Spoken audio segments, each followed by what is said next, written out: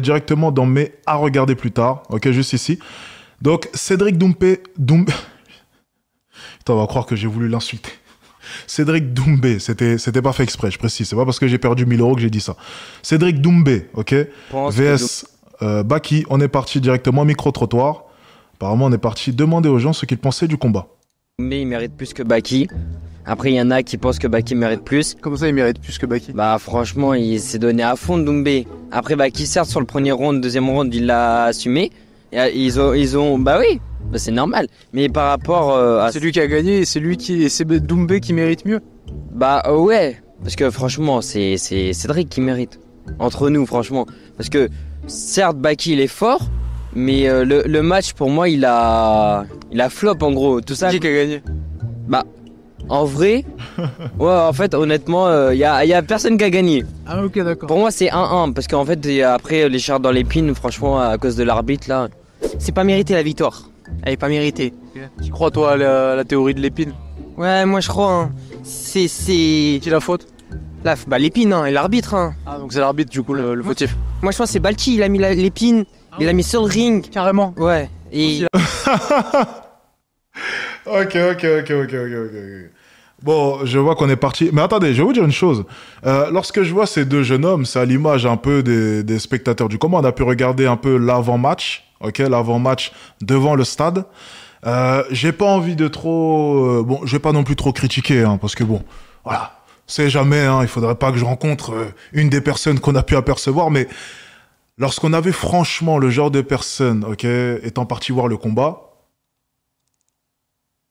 je vais pas vous mentir, c'était pas du beau public. hein. Bon, je dirai rien encore une fois, on va me traiter de raciste et j'en passe. Donc, je vais rien dire. Ok, on va rien dire. Mais, il faut quand même reconnaître une chose. Ça sentait l'anglais. Voilà, c'est tout ce que j'ai. Il est arrivé et tout, il a mis l'épine sur le truc. Et... Après, dans tous les cas, si c'est pas les Anglais, qui, qui irait regarder du MMA en France? C'est aussi ça. Donc on va pas non plus cracher dans la soupe. Au moins, ils ont le don pour mettre l'ambiance. C'est au moins une bonne chose. Parce que, au bout d'un moment, il faut savoir. J'avoue que je suis un peu hypocrite là-dessus. Lorsque c'est un public assez poli et assez calme, on se plaint. Euh, Par exemple, au match de basket, c'est une chose que je peux reprocher. Ah, c'est trop calme, c'est trop ceci, c'est trop cela. Ok. Par exemple, le NBA Paris. Ok, lorsque le NBA vient jouer à Paris. Généralement, les tickets sont chers. On a donc un public qui est assez aisé quand même, avec beaucoup de stars. On se plaint, on aurait préféré qu'il y ait un peu plus de... Vous le savez. Et puis lorsqu'ils sont là, on se plaint aussi. Donc au bout d'un moment, il faudrait peut-être trancher. Alors entre un public bien éduqué qui ne met pas l'ambiance, excusez-moi, et des Anglais qui mettent l'ambiance mais qui en même temps volent deux trois téléphones sur le côté, on choisit qui? C'est une vraie question ça. On choisit qui? Vous préférez quel genre de public? Public calme et ennuyeux Ou bien les Anglais? Je sais pas.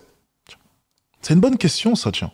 C'est vraiment une bonne question. Je pense que derrière ma télé, je préfère les Anglais, mais je pense que sur place, pour ma sécurité, je vais opter quand même pour le public qui est un peu plus calme.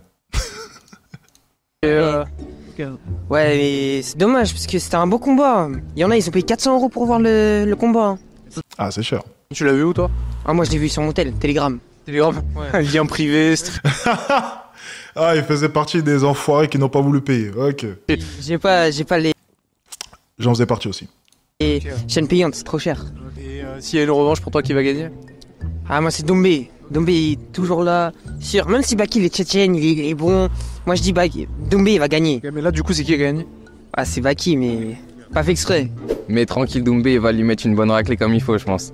C'est un retour. C'est un match retour. C'est un Camerounais, il va gagner de base. hein. Moi, je pense qu'il va gagner. Parce qu'il est Camerounais qui va gagner. Non, mais il est, il est chaud de ouf. En plus, Baki, c'est un, un petit. C'est son gros œil fermé et tout. Non, il va perdre. C'est qui qui a gagné? Bah là, du coup, c'est Baki. C'est pas pareil, c'est pas pareil. Mais c'est pas pareil, il a, il a gagné alors c'était même pas fini. une épine comme ça. L'arbitre, en plus, il est connu pour faire des arrêts de merde. Donc, euh, franchement, je pense qu'il aurait juste dû arrêter, il a enlevé l'épine et reprendre le combat. Ouais, moi j'ai déjà donné mon avis là-dessus. Vous connaissez mon avis là-dessus. Voilà, je l'ai dit la dernière fois. Si j'étais vraiment président de l'organisation, je, je- vraiment j'aurais, j'aurais démonté l'arbitre. Pour une bonne raison. Il y a les règles et il y a le business. Il faut différencier les deux. Lorsqu'on regarde la boxe, et j'ai donné l'exemple hier, donc je vais le redire quand même, c'est important parce que tout le monde n'était pas là. Tu regardes la boxe. La boxe, ils ont bien compris une chose, c'est que c'était avant tout un business. Super important. Lorsque tu regardes Lomachenko contre Hané, Lorsque tu regardes Fury contre Ngannou, tu vois bien que en boxe, on met le business avant les règles. Parce que tout le monde sait qu'un Hané contre un Garcia, c'est beaucoup plus vendeur qu'un Lomachenko contre Garcia. Tout le monde le sait. Tout le monde sait aussi que pour l'image de la boxe, voir un Ngannou battre un Tyson Fury, c'est juste pas possible et c'est juste pas vendeur. Donc on fait passer l'aspect business avant les règles. C'est super important. Et je suis désolé, il y a les règles. Je veux bien, je ne sais pas si l'arbitre a enfreint ou non les règles, mais au bout d'un moment, lorsque tu es dans un des combats les plus importants pour l'organisation, le monde entier a les yeux rivés sur ce combat, tu ne peux pas te permettre d'arrêter un combat comme cela. Il y a eu l'exemple Nganou Joshua. Nganou se lève. Le décompte est déjà passé. Il n'a toujours pas levé les mains. L'arbitre n'a pas arrêté le combat pour une bonne raison. C'est que c'est un des combats les plus attendus. Tu ne vas pas arrêter le combat parce que Nganou n'a pas levé les mains comme les règles le stipulent. Donc vous voyez, il y a tout un enjeu aussi à respecter. Donc l'arbitre n'est pas forcément en tort, au niveau des règles à proprement parler. Mais si on parle businessment parlant, il est en tort. Il est en tort. Bien, on enchaîne. Oh, parce que je trouve Dombé il allait reprendre le dessus là. Ah ouais? Ouais. Ok. Dombé il allait reprendre le dessus, tu vois. C'est pas un prétexte de, de Doumbé pour. Euh... Ce qu'il veut Là, parce que tu vois que même sur les scores et tout, les, les, les- comment ça s'appelle, les juges, ils ont noté. Ils ont mis 19 et 19. Il y avait un partout. Troisième round, il était déterminé. on peut dire aussi que l'organisation, euh, leur superstar c'est Doumbé, donc peut-être qu'ils ont intérêt aussi à, à- Si jamais par exemple il y a un léger avantage pour Baki, bah, on rééquilibre, on fait genre il y a égalité, tu vois. Et euh, à la fin, si ça va à la décision des juges, on fait gagner euh, Doumbé parce que c'est notre star. Un peu comme, euh, comme il s'appelle euh, Ngannou et Tyson Fury. On va pas faire perdre Fury parce que c'est notre superstar et ça détruit notre sport. Après, je trouve dans la boxe, il y a plus de corruption et tout, c'est plus avéré. Après, Ah bah oui, mais c'est peut-être pour ça que c'est l'organisation qui brasse le plus. c'est eh, c'est toujours les gentils qui se plaignent des méchants. Mais les méchants dans ce monde gagnent. Les méchants dominent ce monde. Quelle est l'organisation qui brasse le plus en sport de combat? La boxe. Les méchants l'emportent toujours. Si tu veux respecter les règles à tout prix, je te jure, tu gagneras jamais. Et même le public de son côté ne veut pas de cela. J'ai vu énormément de personnes qui sont venues se plaindre lorsque Lomachenko avait perdu. Oui, mais Lomachenko, oui, mais, mais, oui. Oui, mais il faut avouer une chose, c'est qu'on aimerait tous voir Année contre Garcia. Et ensuite, on aimerait tous voir Année contre Tank ou bien Garcia, revanche contre Tank. Tout le monde rêverait de voir ça. Ne nous mentons pas. Lomachenko Tank? Ouais, ok. Lomachenko Garcia? Ouais, ok, d'accord. C'est moins vendeur, c'est moins bling bling, ça trash talk moins, il y a moins de show. Ça donne moins envie.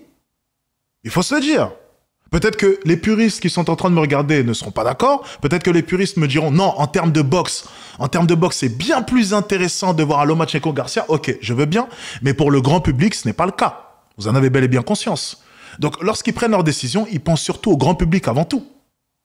C'est le plus important. Parce que c'est ça qui paye. Et une organisation, ça doit faire quoi? Rapporter de l'argent. Et là, ils viennent de se taper la honte. Ils viennent de se taper la honte. Et si avec cela, ils pensent dépasser l'UFC, bonne chance.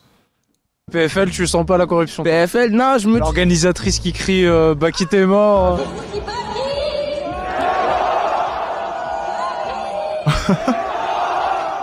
Excellent. Je me dis, ouais, ça quand même, mais je me dis que même Doumbé, il a, il a un peu d'honneur, c'est un mec qui a de l'expérience et tout.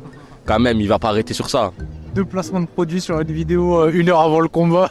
Big honneur. Faut faire les sous, c'est, faut manger quand même. Ah, sérieusement, toi tu crois vraiment à la sincérité de Doumbé ouais. Je pense vraiment qu'il aurait voulu reprendre. Là, je pense, s'il lui avait enlevé l'épine, ils auraient repris, et même Doumbé reprenait le dessus largement. Et Qu'est-ce que t'as pensé de la prestation de Baki Parce qu'on parle que Moi, je trouve que El Ryan, il est un peu quand même de mauvaise foi. On voit bien que sur la feuille de match, c'était égalité. Euh, au troisième round, c'était. Enfin, les deux, là, c'était, on était vraiment dans un tournant du match. Dire qu'il a eu peur ou bien que l'épine a popé de nulle part, bon, je trouve qu'il abuse un peu. Euh, il, peut, il peut nous dire, il peut nous dire qu'il aurait dû continuer, ça, je veux bien. Mais essayer de sous-entendre le fait qu'il voulait pas forcément reprendre, bon, là, euh, il faut arrêter. Enfin, je sais pas, mais moi, on a bien vu une chose, c'est que durant le premier round, vraiment analyser le combat. Que s'est-il passé? Durant le premier round, Cédric Doumbé, vraiment trois ou quatre fois, a fait l'erreur, et selon moi, j'avoue que je n'ai pas compris cette erreur, de balancer sa jambe. Donc de venir faire son low kick. Il a l'habitude de le faire souvent, j'ai pu analyser. Le game plan de Baki était simple, et vous pouvez revoir le premier round. Dès que Cédric envoie son low kick, tu attaques la jambe. C'était ça son game plan. Et tout le monde l'a vu. Enfin, n'importe quelle personne qui, qui s'y connaît un peu en sport de combat l'a vu. C'était ça son game plan. Cédric Doumbé l'a fait trois ou quatre fois. Les trois ou quatre fois, Baki a saisi l'opportunité.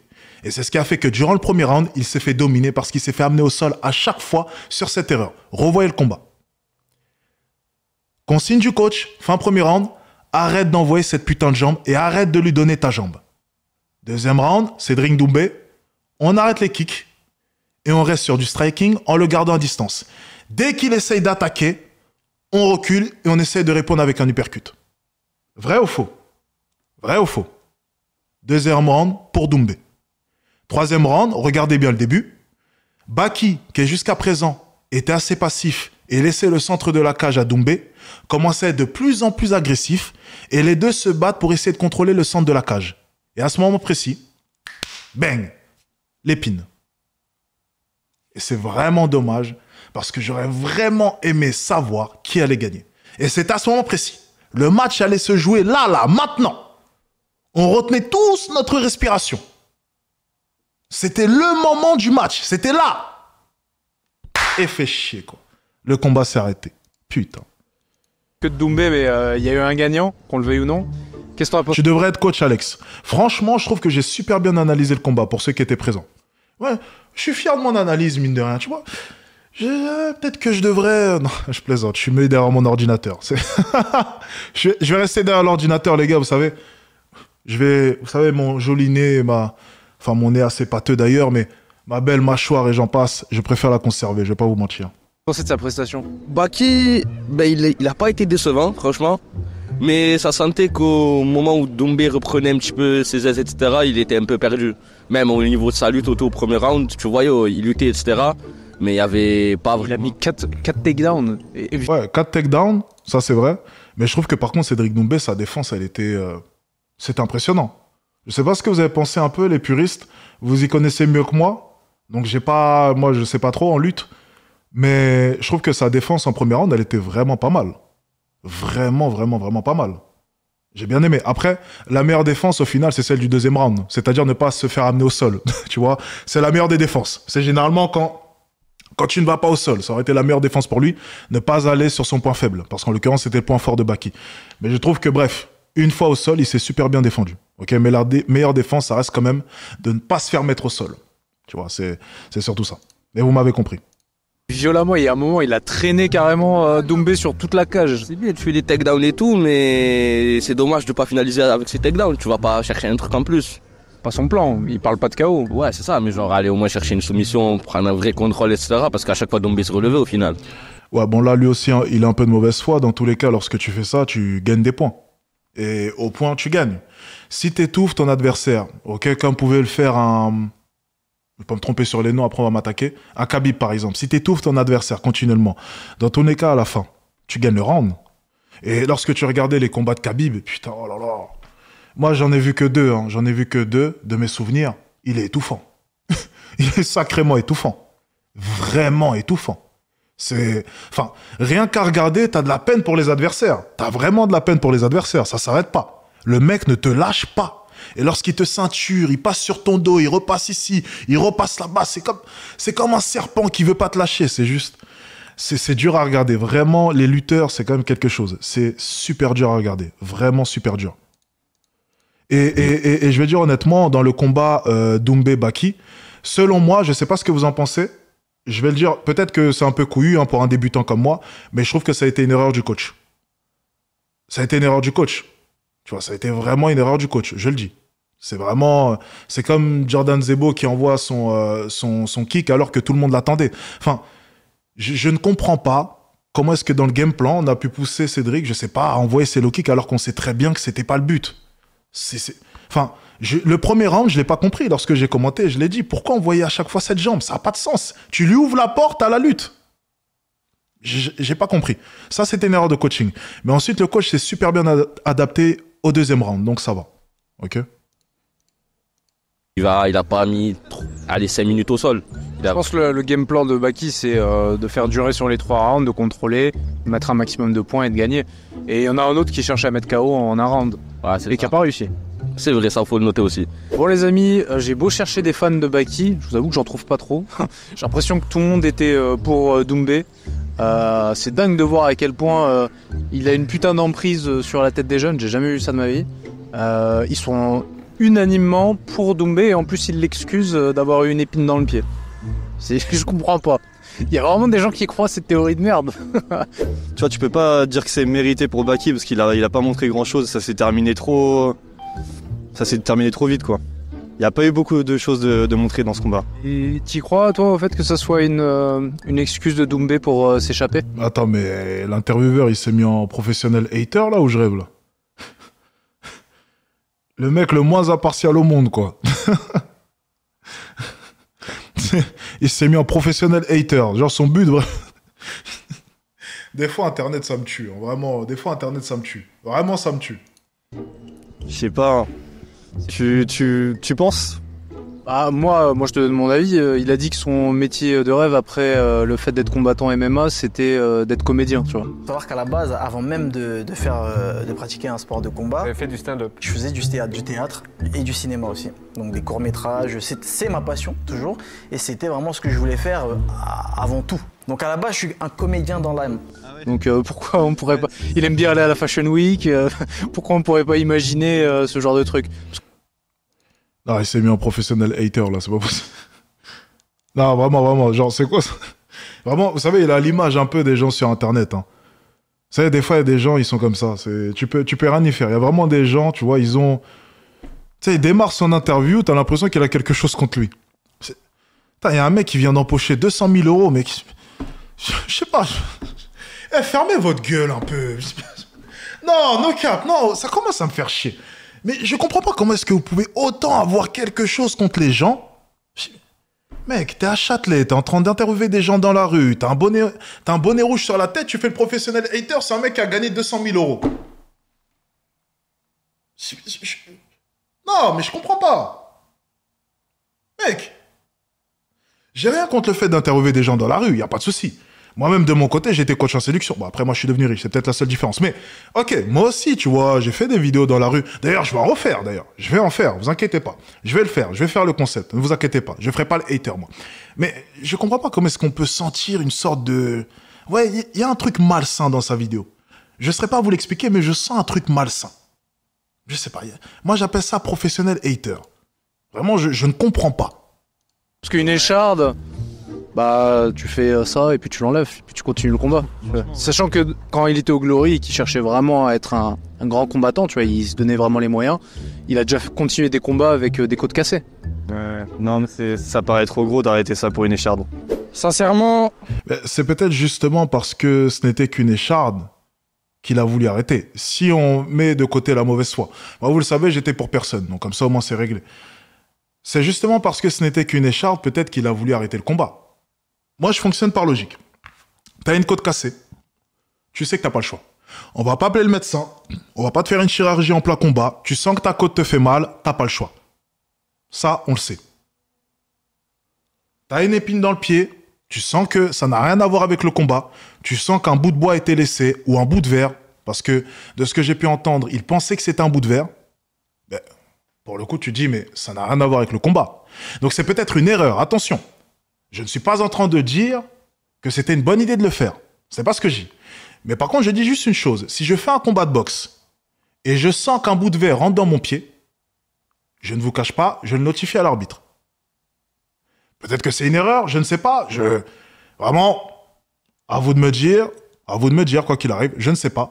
Mais selon moi, cette théorie est un peu plus plausible. Si c'est quelque chose d'extérieur au combat, tu peux le signaler. C'est que- si c'est quelque chose qui a un rapport avec le combat, c'est une toute autre chose. S'il t'a cassé les côtes en te mettant un coup de poing, c'est autre chose.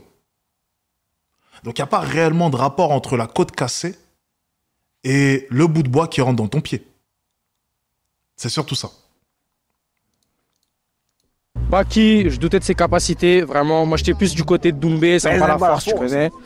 Euh, que j'allais dire Baki, il m'a choqué. Mais il m'a choqué au niveau de sa lutte. Jamais j'aurais pensé que Doumbé il allait se faire soumis comme ça. là. Bref, du coup, après, sur le deuxième, Doumbé il est rentré. Deuxième round. Il est montré, il lui a montré, il lui a montré c'est qui. Hein. Et après, troisième. Ah Ah oui, et au passage, oui, très bon, très bon match de, euh, de l'opposant en face. Bon, après, je connaissais pas, donc... euh. Doumbé, euh, je sais pas, il me fait quoi? Il a. la théorie du dompied là? La théorie du dompied, non, non, non, non, non, non, je sais pas, il m'a fait quoi. Mais moi, j'en veux à l'arbitre, moi. Au début, je comprenais pas. Au début, je pensais, euh, Doumbé, il était, il pensait qu'il allait perdre et tout. C'est-à-dire, je pensais que c'était- l'excuse. C'était l'excuse du truc. Ouais, j'ai un truc dans le pied, stop, stop, stop. Mais après, à partir du moment où Doumbé s'expliquait après le match, après le combat, pardon, après, euh, j'ai, Ces arguments ils sont convaincants? je sais même pas quoi dire, je suis dégoûté. Après, j'en veux un petit peu à l'arbitre. Mais c'est comme ça, c'est le Il y, a sport. des combats, il y a des combats de Doumbé où il a les côtes cassées et il continue quand même de combattre. Ce serait une écharpe dans le pied qui. euh, qui va le Je sais pas, je sais pas. Encore une fois, ça, ça, l'argument est pas bon, mais bon, on va pas, on va pas revenir là-dessus. Mais comparer, euh, comparer le fait qu'un élément extérieur au combat ait pu rentrer en compte et comparer le fait que justement dû au combat, eu une côte cassée, ça n'a rien à voir. La côte cassée, c'est vraiment le pire exemple, le pire exemple, excusez-moi, qu'on puisse prendre. Ça n'a totalement aucun rapport, mais vraiment aucun rapport. C'est vraiment, c'est la côte cassée est provoquée par un coup de l'adversaire. L'épine dans le pied est provoquée par un connard qui a mis ses chaussures sur le terrain. Donc encore une fois, bon, ça n'a pas réellement de rapport. C'est mais professionnel hater apparemment ne, ne veut pas réfléchir quoi. Je sais pas, moi je, je suis dans le déni, je veux même pas savoir. Moi je suis Team Doumbé de base. Et Baki, voilà. quand même, euh, il a gagné ton respect. Baki, ah oui, oui, ah oui, Baki je le respecte. Voilà, Baki je le respecte très clairement. Fin, fin, Baki je le respecte. Il, il aurait pu faire autrement. Il aurait pu éviter ce, ce gâchis Doumbé, tu vois. Après, moi, en étant pro Baki aussi, tu vois, je me dis qu'il voulait pas de cette fumée, tu vois. Baki, il lui a fait, il, il lui a fait manger la lutte un peu. Et je pense que au deuxième round, Baki il a essayé de placer ses takedowns qui ont été défendus, certes, mais il a joué le jeu. Il a, il a essayé de rester debout contre Doumbé. Ça, on l'a remarqué aussi, tu vois. Faut pas être, euh, faut, tu sais, faut pas se voiler la face. Oui, il a rentré. Hmm, pas vraiment, on a pu le voir au deuxième round. Il est même pas passé loin d'un salut percute en voulant l'amener au sol. hein. De, de mes souvenirs, ouais, moi je suis totalement impartial. C'est pour ça que je suis en mesure de pouvoir garder la tête froide. De mes souvenirs, deuxième round, il a failli, il a failli se prendre un salut percute. Et justement, il n'arrivait pas à trouver les ouvertures pour l'amener au sol. Parce que crois-moi, et là par contre, il faut arrêter deux secondes. S'il avait pu l'amener au sol au deuxième round, il l'aurait fait. C'est juste que c'était une toute autre histoire. Totalement différent. Des jabs et tout. Tu sais, il a voulu prouver que même debout, il, il, il craignait, il craignait pas Doumbé, tu vois. Et moi, je pense que c'est respectable de sa part. Et au troisième round, honnêtement, je pense qu'il aurait pas pris de risque et il aurait amené le combat là où il aurait voulu, tu vois. C'était, c'était une petite écharde. Tu l'as dans le pied, tu la retires, ça te prend deux secondes. Après, je pense pas qu'il s'attendait à une fin comme ça aussi, euh. Donc c'est peut-être pour ça qu'il a chipoté un peu plus. Après les gars, moi, le trash talk à Doumbé, il m'a fatigué un peu, je vous mens pas, même si je l'apprécie beaucoup. Baki, il a 22 ans, il a tout devant lui. Et puis il nous a proposé quelque chose de solide quand même. C'était, c'était incroyable. Moi, quand on me parle ouais, des chartes dans le pied, je dis il a, il a 22 ans, il est arrivé face à 20 000 personnes qui l'ont hué. Une présentatrice qui euh, crie Baki. Ça, c'est quoi? C'est des échardes psychologiques. Bah, C'est euh, le mec est parti avec euh, totalement défavorable, tout le monde contre lui. Et normalement, d'ailleurs, on peut aussi on peut être complotiste et dire peut-être que si c'était allé jusqu'au bout, les juges peut-être ils auraient triché, ils seraient du côté de Doumbé parce que c'est leur star et tout. c'est pas impossible, c'est Possible ce genre de c'est pas, c'est pas impossible. Après, moi, je me dis le scénario inverse. J'aurais voulu voir un KO. Ah, ça aurait pu être bien ça. On prend Baki, donc si Baki il aurait eu une écharde au pied, Alors, au deuxième round, Baki est resté debout histoire de défier Doumbé et lui montrer qu'il était prêt à le prendre sur son propre terrain. Bah, résultat, il a perdu le round.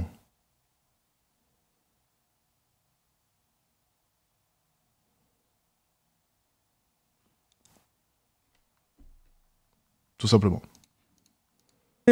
ce, ce, ce serait pas passé comme ça, tu vois. Il l'aurait enlevé, il aurait pas chipoté, il aurait continué le combat, tu vois. Franchement, il a il a l'avenir devant lui, il a que 22 ans. Il va faire de, de gros trucs. Force à toi, si tu regardes la vidéo, force à toi, t'es un loup, frère. Cédric, Cédric, t'abuses. Un vrai vaillant, euh, il est capable de se battre même avec un bout de verre dans le pied. Encore. Bon, on va s'arrêter là. On va s'arrêter là. En fait, euh, on va s'arrêter là simplement parce que, en fait, je sais que ça va être un peu, un peu, euh, comment dire, un peu, ça va être un peu dur ce que je vais dire, mais non, ça serait, ça serait arrogant, mais j'avoue que j'ai toujours un peu du mal des fois à écouter des gens out of shape. C'est-à-dire des, des mecs vraiment qui de leur côté n'ont même pas pratiqué ne serait-ce qu'une seule fois euh, vraiment du sport, tu vois, vraiment, ok, un niveau compétitif, pas forcément professionnel ou peu importe, mais à haut niveau avec la rigueur et, euh, et tout ce que ça. Bref, je vais pas rentrer dans les détails, mais j'ai toujours un peu de mal vraiment à écouter l'avis de l'avis de tout le monde. Je vais pas, je vais pas vous mentir, surtout lorsque les gens ne sont même pas capables de, de connecter deux neurones, quoi. C'est assez compliqué. Bon, on va s'arrêter là.